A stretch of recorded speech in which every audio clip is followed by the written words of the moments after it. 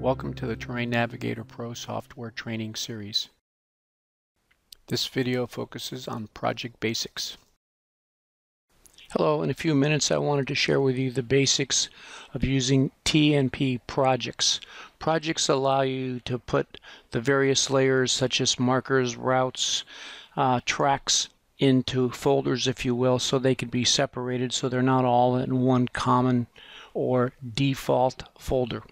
So I've placed some markers to the west of Round Mountain, which is about 15 miles west northwest of Austin, Texas, just so we have something. Um, what I'm going to do now is create a new project. When I create a new project, these will not be visible.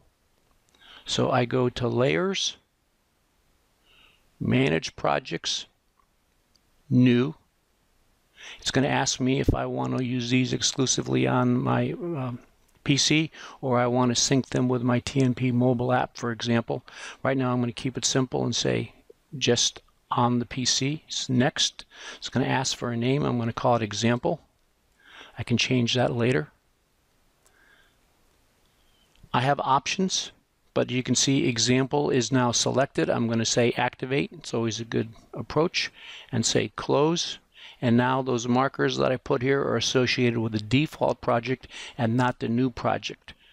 That's called the example. Before you didn't see a name, you just saw a map name up there, and I'll show you that again in a second.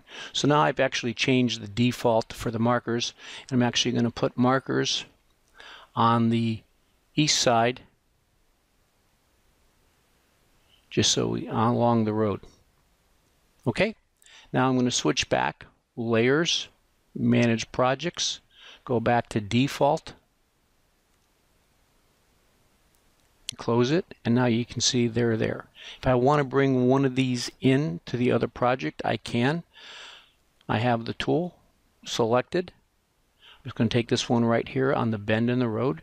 I'm going to right click, copy to clipboard, go to layers, manage project, choose example, which is the other one, activate, close, and then Control V, again, that's hitting the Control and the V at the same time.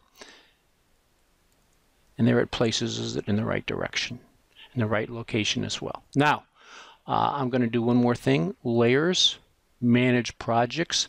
This is something we've created. You can see that the icons here are highlighted. That means they're accessible. I'm going to go ahead and lock. You can see example has been selected. And again, example is shown up here. I'm going to lock from editing, activate, and then close. And now you can see these are grayed out. When I try to drag this, I drag the map, but everything is locked.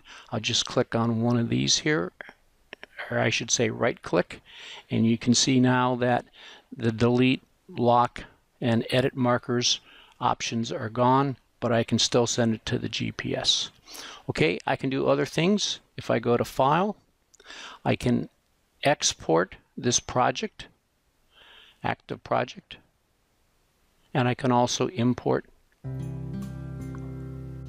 Thank you for watching this video regarding Terrain Navigator Pro.